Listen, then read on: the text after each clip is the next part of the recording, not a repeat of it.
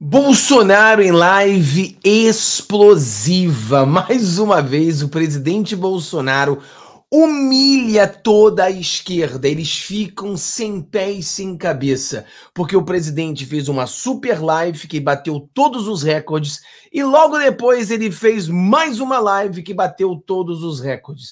Se nós contássemos todas as pessoas que assistiram todas as lives do Lula, desde quando Lula saiu da cadeia até hoje, não chegaria a metade das visualizações do presidente Bolsonaro. Basicamente isso. Então nós iremos fazer um resumo dessa live explosiva para que você possa compartilhar com seu amigo, para que você possa analisar tudo que o presidente Bolsonaro falou. Ele explicou sobre essa questão da BIM paralelo. Ele fez uma revelação incrível sobre a situação do filho dele. Olha que o Adélio ele esteve próximo de, de oh meu Deus, uma coisa muito séria que nós temos que analisar. E ele falou de várias coisas. Ele deu exemplos do dia 8, ele simplesmente deu um checkmate na questão do dia 8. Então a gente precisa analisar tudo isso. Eu botei alguns pedaços importantíssimos dessa live que ele deveria depois, de repente, ser cortado e compartilhado com toda a população brasileira. Eu sei que muitos de vocês tiveram a chance de assistir o vídeo todo. Agora vamos assistir os melhores momentos e analisá-los para que a gente entenda. Quem é que está aqui e você conseguiu assistir toda a live do presidente? Bota eu. Muitos de vocês estavam trabalhando, outros não puderam assistir, outros assistiram só um pedaço. Agora você tem como assistir detalhadamente e analisando. Meu nome é Fábio. Se você não está inscrito ainda, inscreva-se no nosso canal, dá o seu joinha, compartilhe com seus amigos e lembrando a você que nossa live de 15 horas é no outro canal e lá nós tentamos responder todas as suas perguntas. Então, sem muito lero-lero, vamos direto ao assunto aqui para a gente fazer a jogada, analisar a live do querido presidente Bolsonaro. Mais uma live explosiva que deixou a esquerda na mão, né? Live explosiva, revelações bombásticas sobre a BIM Paralelo, Pix e o Adélio Bispo. Vamos lá direto, galera. Presidente, pela conversa, pela entrevista, eu queria Vou fazer uma pergunta básica. Existiu alguma BIM paralela? Por que a insistência nesse assunto? Olha, geralmente quando a esquerda acusa alguém de uma coisa, é porque ele está fazendo essa coisa. Eu quero ver se me permite tocar num assunto que começou em 2012. Como é que funciona o serviço de inteligência brasileiro? Ninguém tem controle sobre eles. Assim, até mesmo nas, nas inteligências outras de segurança de estados pelo Brasil. Isso que aconteceu em 2012 é um caso realmente para nos preocupar. Me permite, Augusto? Em 2012, teve o impeachment do então presidente Lugo do Paraguai, que era da turma do Foro de São Paulo, e o Brasil, o governo brasileiro, na época Dilma Rousseff, não gostou disso ficou extremamente incomodado com isso. Então, para pressionar o Paraguai, é, resolveram trazer a Venezuela para o Mercosul. Agora, para trazer a Venezuela para o Mercosul, é, tinha que haver unanimidade por parte dos quatro que integravam o Mercosul naquele momento, que era o Brasil, Argentina, Uruguai e Paraguai. E o novo governo do Paraguai, após o impeachment daquele padre que arranjou um montão de filhos com as, com as pessoas, com as mulheres que iam se confessar com ele, eles sentiram então que tinham que afastar o Paraguai do Mercosul, em afastando, a unanimidade caberiam os três países que sobraram: Brasil, Uruguai e Argentina. E assim, no governo Dilma Rousseff, eles tinham que criar meios para que Pepe Mujica deixasse o Mercosul, de, é, Pepe Mujica concordasse com o afastamento do Paraguai. Então. Aqui, pessoal, o presidente Bolsonaro, eu não vou parar muito, não, tá? Eu cortei uns pedaços, a gente tem que parar às vezes, porque o YouTube pede que a gente pare, né? E o presidente Bolsonaro ele começou falando aquilo que todos nós já sabemos. É, eles nos acusam do que eles são. Normalmente, quando a esquerda está apontando o dedo para a gente, é porque normalmente eles fazem isso. Ou seja, se eles estão dizendo que o Bolsonaro tem um ABIN paralelo, é porque eles tiveram, eles têm, são eles os responsáveis pelo ABIN paralelo. É basicamente isso que o Bolsonaro está explicando e ele está mostrando para a gente detalhadamente coisas que a gente não fica sabendo, né? coisas que são escondidas, que o Bolsonaro consegue ver alguns detalhes. Ele não pode falar tudo, mas ele está explicando muitas coisas aqui. Vamos lá. O afastamento ou nova adesão tinha que ser por unanimidade. E Pepe Mujica não queria afastar o Paraguai. E o que eu vou te falar agora não é da minha cabeça, não é das informações que eu tive enquanto presidente, até antes de ser presidente. É baseado no livro do próprio Pepe Mujica, uma Ovelha Negra do Poder, livro este de 2015, onde ele conta o episódio de 2012. E é uma coisa realmente inacreditável o que ele conta, mas é bom o povo brasileiro saber dessas histórias. Então, a Dilma Rousseff tinha que convencer Pepe Mujica a afastar o Paraguai. Então, eles combinaram o encontro, mas depois decidiram que esse encontro não poderia acontecer, tendo em vista o recente impeachment do então Lugo do Paraguai. E de um avião da Força Aérea Brasileira, como Pepe Mujica mesmo conta, foi buscar um homem de confiança de, de Pepe Mujica lá no, no Uruguai. Então, Pepe Mujica mandou o seu homem de confiança para o Brasil para conversar com Dilma Rousseff. E eles se encontraram. Se encontraram e começou a conversa sobre como afastar o Paraguai do Mercosul. E esse, e esse homem de confiança de Pepe Mujica começou a fazer anotações.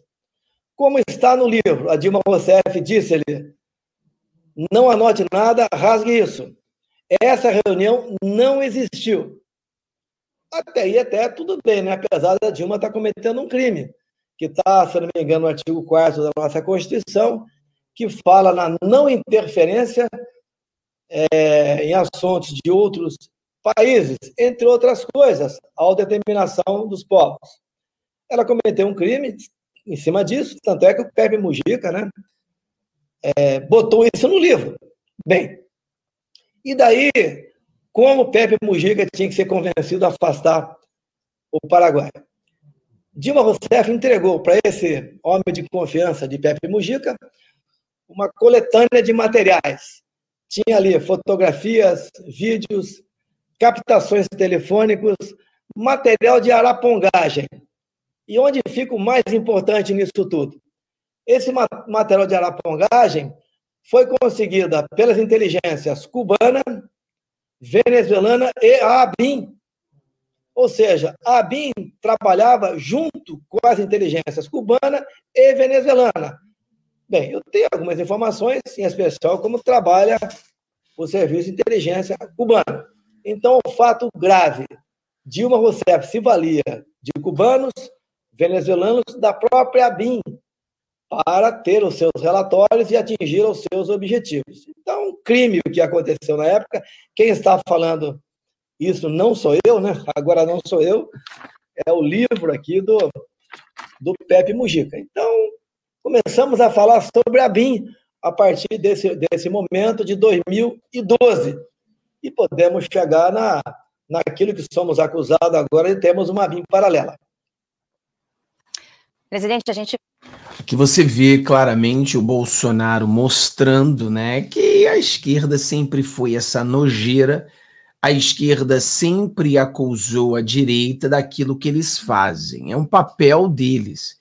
Então está provado aí, o presidente mostra claramente que ah, se existe uma BIM paralela, exatamente isso. Existiu na época da Dilma, na época do Lula. Eles são esse perigo que existe hoje no Brasil. Como expliquei para você na nossa live de ontem, o... não existe uma BIM paralela. O que existe é a BIM e existem criminosos que certamente estavam querendo beneficiar o Lula e companhia, a esquerdalha, fazendo gravações espionando algumas pessoas. Então, isso aí não é um ABIM, um ABIM paralelo, é criminosos que estavam usando e recebendo dinheiro com os documentos deles. Vamos aqui agora para uma outra parte interessante, que a gente vai chegar aqui. Peraí, que eu estou pulando para essa parte aqui. Peraí, ela aí, peraí, deixa eu botar aqui nessa parte. Peraí. Vamos aqui nessa parte agora, vamos lá. E a Polícia Federal chegou às sete e meia da manhã aqui na Vila História de Mambucaba. E eu estava no mar. Geralmente eu saio seis horas. Aqui, pessoal, só para ter um contexto, o Bolsonaro está respondendo sobre a Polícia Federal batendo em sua casa, sobre a mentira, fake news da Rede Globo de que ele tinha fugido, que tinha o seu filho tinha um laptop da ABIN, toda essa mentira, tudo que aconteceu ali na praia, o Bolsonaro ele explica de uma forma muito bacana e deixa tudo clarinho, clarinho o que realmente aconteceu. Vamos lá. Ele pega aquele papel e diz: aqui tem voto impresso, não é como outros países por aí, e botou dentro da urna. Bem, isso aí deve ter incomodado algumas pessoas por aí. Tanto é que você corrobora é, na tese que eu estou expondo agora, que eles trabalharam a noite toda para a busca e apreensão no dia seguinte. Não foi uma busca e apreensão que vinha sendo planejada em cima do Carlos. E a Polícia Federal chegou às sete e meia da manhã aqui na Vila História de Mambucaba. E eu estava no mar. Geralmente eu saio seis horas, cinco horas, seis horas para pescar. E no dia anterior, no domingo, eu havia falado que ia pescar. E chegaram aqui, eu não estava aqui, estava pescando com alguns amigos meus, mais o senador Flávio, mais o deputado federal Zuco, mais o, mais o vereador Carlos. O Eduardo, outro filho meu, deputado federal, que participou da live, estava no outro local, porque a minha casa tinha muita gente aqui, ele tinha um pessoal dele também, estava no, numa pensão aqui próxima. Bem, a imprensa, né, a Daniela Lima, diz que eu fugi. Olha, a casa onde eu estou aqui, se você entrar no Google, você vai ver que não tem nenhuma casa aqui na Vila História de Mambucaba que tenha uma a possibilidade de uma embarcação ou de um jet ski sair da garagem. Aqui é não existe aqui é, isso, né? Eu ando, eu, eu desloco em torno de 400 metros, puxando um jet ski ou um barco para colocar no rio Mambucaba e depois ir para o mar. Então, isso não existiu.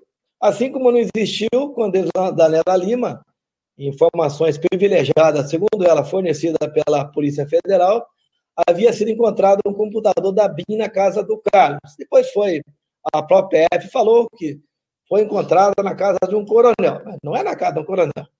O coronel era casado, era casado com a funcionária da BIM. Então, o computador estava com ela. Tá? E nada prova que isso faz parte do ABIN paralela, é, essa, essa questão. Então, é, são notícias plantadas. É, você vê aqui, pessoal, como que eles usam de uma mentira para tentar chegar a algum tipo de factoide, né?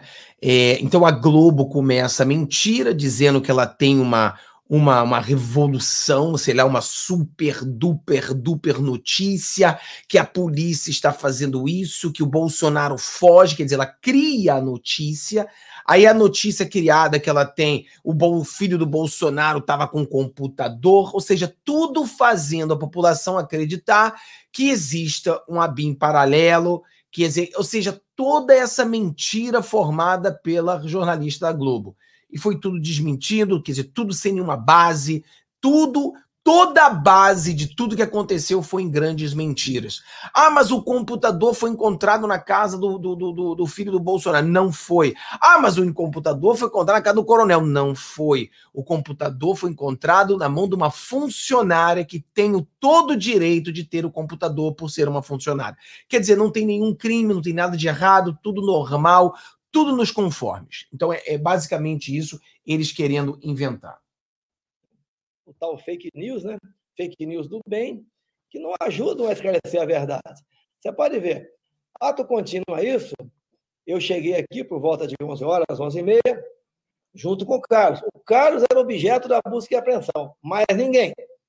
Então, apresentei com ele aqui, a PF estava decidida a pegar o material de todo mundo, inclusive do senador Flávio, e eu questionei, não está na busca e apreensão o senador, é o Carlos Bolsonaro. Ah, mas a ordem que eu tenho é pegar o material de todo mundo. Se tivesse aqui, por exemplo, um amigo meu, né, que outro mais importante, o ministro do Supremo, que eu tenho dois, eu considero amigos, dois do Supremo, teria pego também o material deles. Ou seja, vieram fazer uma pesca probatória totalmente atabalhoada. Ato contínuo, daí resolveram, então, é, não levar o material das pessoas, mas levaram o material de um assessor meu, um tal de Tércio, que era acusado lá atrás de integrar o gabinete do ódio. Mas eu sempre pergunto, me apresente uma possível matéria nas mídias sociais ou na imprensa tradicional que poderia ter sido gestada nesse tal do gabinete do ódio. Nós sabemos agora que o governo, antes disso, né, o PT tinha seu gabinete do ódio, até que levou uma menina ao suicídio. Aqui a gente vê mais uma vez, né? Eles acusam a gente do gabinete do ódio, mas eles são os que têm o gabinete do ódio. Uma coisa que eu nunca vou entender é como é que uma, uma, um pedido de busca e apreensão ele é feito na casa do presidente Bolsonaro, né? É uma coisa totalmente ilegal, porque aqui nos Estados Unidos, quando você tem uma busca e apreensão, o juiz te dá a busca e apreensão, mas é, é, é tipo detalhado na busca e apreensão tem que ter todos os lugares especificamente aonde eles podem é, procurar. Por exemplo, se na folha, no documento, não disser garagem, eles não podem entrar na garagem. Se ali não disser o quarto da criança, eles não podem entrar no quarto da criança. Tem que estar tá estipificado todos os lugares, estipulados, todos os lugares têm que ser investigado. Agora imagina, se você tá na, o filho está na casa do pai em outra praia, eu não entendo essa busca e apreensão, porque não é na casa dele, é na casa do pai. Eles não têm direito de entrar na casa do pai.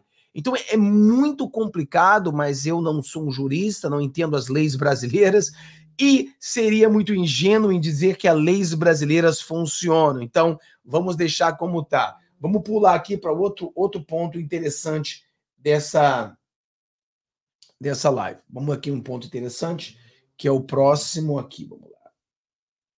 Estou marcando aqui onde. Vamos botar nessa parte aqui, que interessante também. De vocês, como foi, por exemplo, a minha ida para a Rússia para conversar com o Putin. Peraí, peraí, peraí. Todo mundo sabe o nome delas, eu falaria.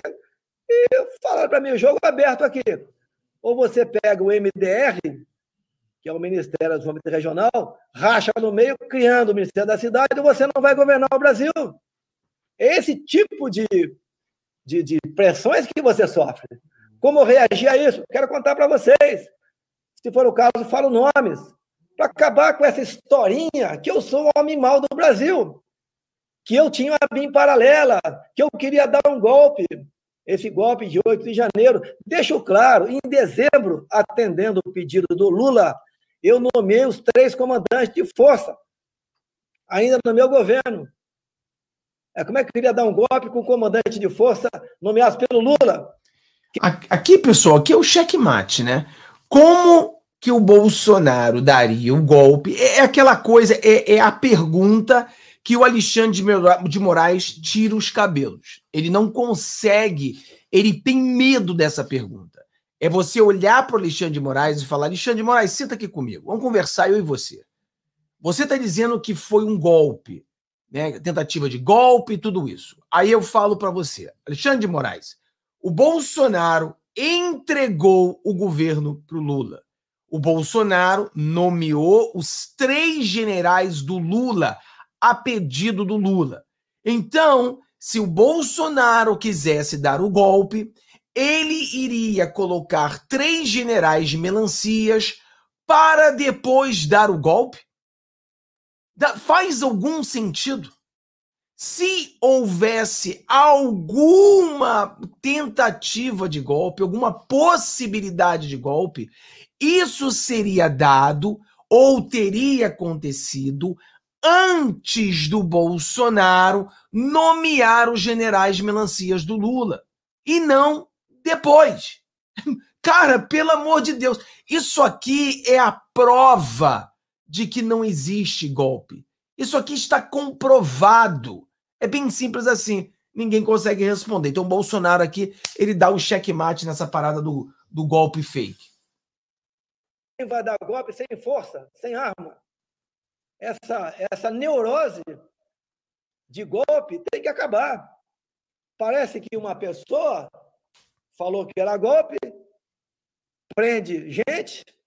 Eu me sinto presidiário com essas pessoas, condenadas a 17 anos de cadeia, pessoas humildes, tá? Se algum extrapolou depredando patrimônio, que pague, pô. Mas com 17 anos de cadeia, sendo acusado como tentativa armada de mudança no Estado Democrático de Direito, quem vai acreditar nisso?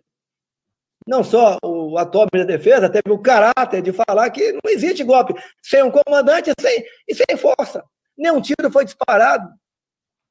Aquela prisão de 1.500 pessoas, quer dizer que 1.500 pessoas estavam programando dar um golpe e ninguém sabia de nada. O... Aqui também é outro ponto, né? Como que o Lula não sabia? Como é que 1.500 pessoas programam dar um golpe e a inteligência do governo atual, que é o governo Lula, não sabia de nada? Quer dizer, é muita incompetência, é muita canalice, é muita criativa, né? É, é criação de narrativa para tentar incriminar o presidente Bolsonaro. É aí é onde todos os esquemas de fish expeditions, eles procurando maneira de criminar o Bolsonaro em todos os lados e não conseguem achar. Vamos essa outra parte aqui mais importante que a gente já já a gente termina, galera. Eu sei que vai ficar um pouco mais é, longo o vídeo hoje, mas é importante que a gente pegue os, os, os pontos principais aqui da nossa querida live do presidente, né? Peraí, peraí, peraí, deixa eu botar aqui no ponto. Aqui.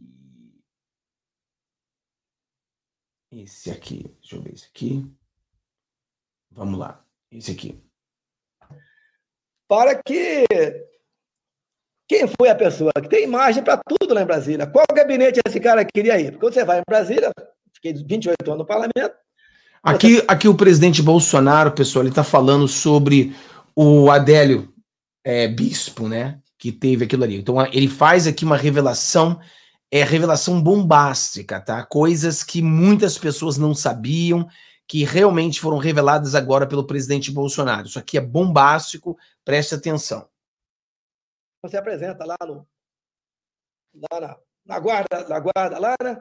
É, para onde é que você vai? Você não vai entrar aqui para não fazer nada. Você vai, vou para a plenária, vou para a comissão, vou para o deputado. O Adélio havia sido filiado ao PSOL.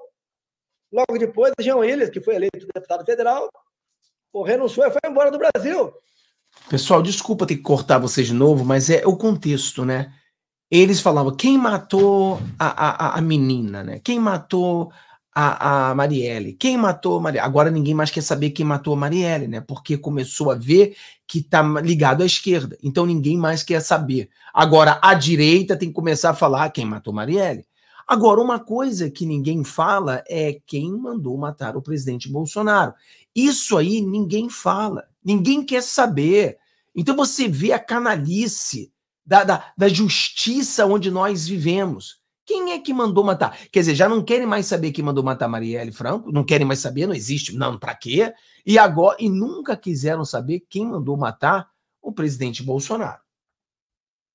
Não estou acusando dele de nada, mas essa, essas pontas soltas, guarda lá, né? É, para onde é que você vai? Você não vai entrar aqui para não fazer nada. Você vai, vou para a plenária, vou para a comissão, vou para o deputado. O Adélio havia sido filiado ao PSOL. Logo depois, Jean Willis, que foi eleito deputado federal, pô, renunciou e foi embora do Brasil. Não estou acusando ele de nada. Mas essa, essas pontas soltas, você tem que se fazer presente.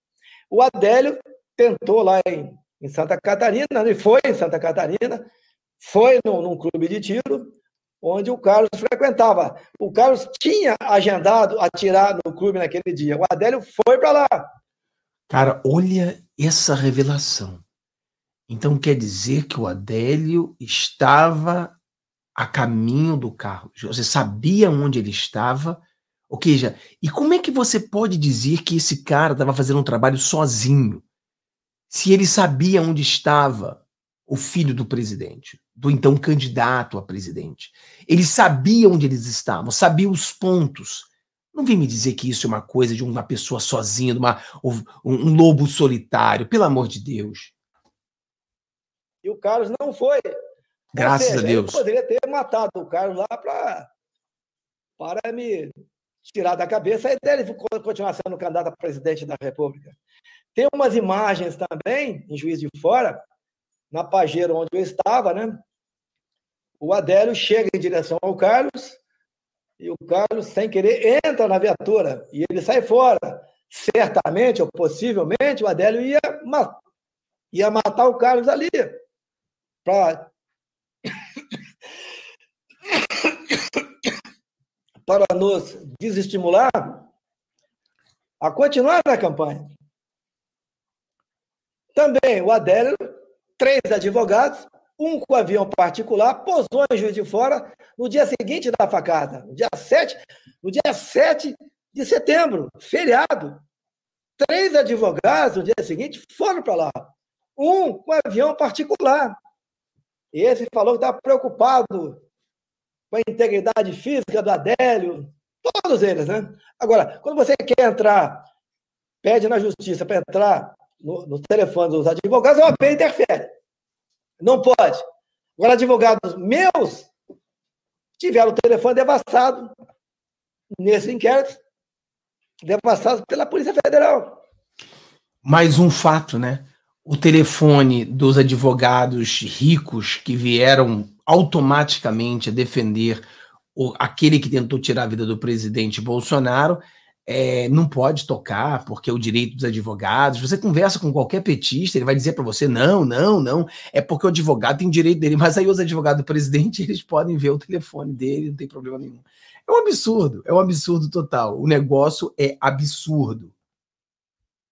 Então, o que, que os caras querem? Mal bem, pense o que bem entender. Não sei se vou estar vivo amanhã, tá? Não sei se vou estar vivo amanhã. O que, que os caras querem no momento? É me tirar completamente de combate. Ah, o cara está inelegível. Olha, Maria Corina também está inelegível lá na Venezuela. Qual a acusação? Atos antidemocráticos. Qual foi o crime imputado a mim? Reuniu-se com embaixadores e discutiu o inquérito que está aberto até hoje, de início de novembro de 2018, sobre. Inacreditável, né? É a mesma coisa. E aquilo que eu falei para você da hipocrisia. O Biden quer causar sanções à Venezuela, porque Venezuela, o traficante de drogas Nicolas Maduro, fez a menina inelegível. Sendo que o Biden quer fazer o Trump inelegível, o Lula fez o Bolsonaro inelegível. Ou seja, um absurdo total. Vamos a outra parte aqui interessante para a gente terminar. Tá. Assim como o de Janeiro, é para ofuscar algo que aconteceu em 2022, que não vou entrar em detalhe aqui agora. Assim como a operação de busca e apreensão na minha casa na segunda-feira foi para ofuscar a live é, de domingo. Tá? Eu sou a cereja do bolo. Eles querem a minha cabeça. Vão ter só na base da arbitrariedade. Tento de tudo, antes de eu ser candidato em 2018, tá? durante o mandato todo, interferências muitas, mais variadas, quase toda a imprensa contra a gente. Aqui o Bolsonaro ele faz uma revelação, né? O que a gente falava. Sempre quando a direita tem grande sucesso, eles criam algum tipo de coisa, né? Bolsonaro tem uma live histórica que quebra todos os recordes. Dia seguinte ele é caçado por algum motivo. Então, como o Bolsonaro hoje, né, ontem, desculpa, teve essa live que bombou, certamente hoje eles vão criar algum outro tipo de narrativa contra o presidente Bolsonaro. Ou seja, isso acontece todos os dias. Já é uma coisa bem previsível dessa esquerda nojenta. Então é basicamente isso aí. Eu acho que isso aqui foram os pontos mais importantes da live do presidente Bolsonaro. Seria bom se você assistisse a live toda, mas eu sei que existem pessoas que você quer compartilhar que prefere assistir algo mais resumido. Tanto é que eu vou pegar esse vídeo aqui depois, vou cortar ele em pedaços, jogar no canal e deixar lá pedaços né, cortados para as pessoas conseguirem compartilhar com seus familiares, que aí fica mais fácil para todos, tá bom? Então Deus abençoe todos vocês. Não esqueça que às 15 horas Quando a gente terminar essa live, você vai ser direcionado a uma live que a gente vai ter às 15 horas e ali aperte a notificação para você ser notificado quando começa e lá a gente tenta responder suas perguntas, tá bom? Então Deus abençoe todos vocês, vocês tenham um dia maravilhoso. Não se esqueça de se inscrever no canal, compartilhar com seu amigo e eu te vejo no próximo vídeo às 9 horas. Vamos falar sobre os Estados Unidos, às 15 horas no outro canal é a nossa live especial. Tchau, tchau. Te vejo às 9 ou